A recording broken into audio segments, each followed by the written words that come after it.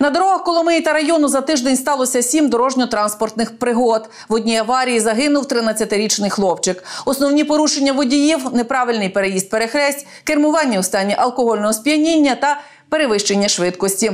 Інспектор Коломийського відділу поліції Юрій Василишин розкаже детальніше. Коломийський відділ поліції повідомляє про те, що протягом минулого тижня відбулося е, сім ДТП, е, одне з яких смертельним е, випадком. Це 20 жовтня, близько 23 години в селі Сопі Коломийського району. Житель села Молодятин 2000 року народження, керуючи автомобілем Volkswagen Транспортер в напрямку міста Коломиї. Здійснив наїзд на велосипедиста, який рухався у попутному напрямку, який в останній момент різко виїхав на проїжджу частину. Е, Велосипедист 2005 року народження, житель е, села Сопів, помер на місці пригоди. За минулий тиждень е, працівниками Коломийського відділу поліції зафіксовано 86 порушень, з яких 13 е, водіїв у нетверезому стані.